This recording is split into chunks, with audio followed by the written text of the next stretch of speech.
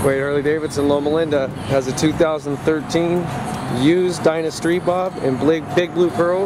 It's got Vance pipes, high flow, download, black drag bars, only 997 miles. This thing's ready to go guys.